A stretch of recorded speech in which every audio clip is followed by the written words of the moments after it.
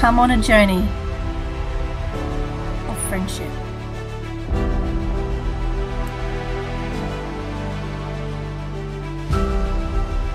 About a boy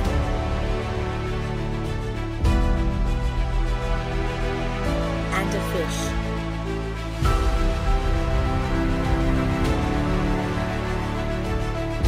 Blueback, a story set in Australian waters, rich with emotive, descriptive language. From boyhood through adolescence to adulthood. A story about family, about environmental preservation about protecting those who can't protect themselves.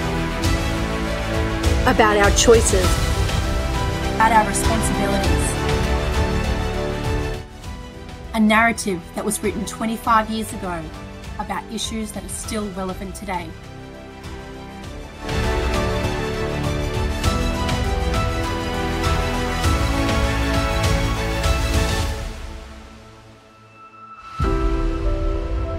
This story is about relationships.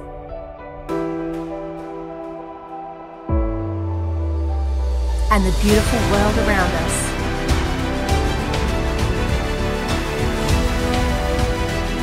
Are you ready to dive in?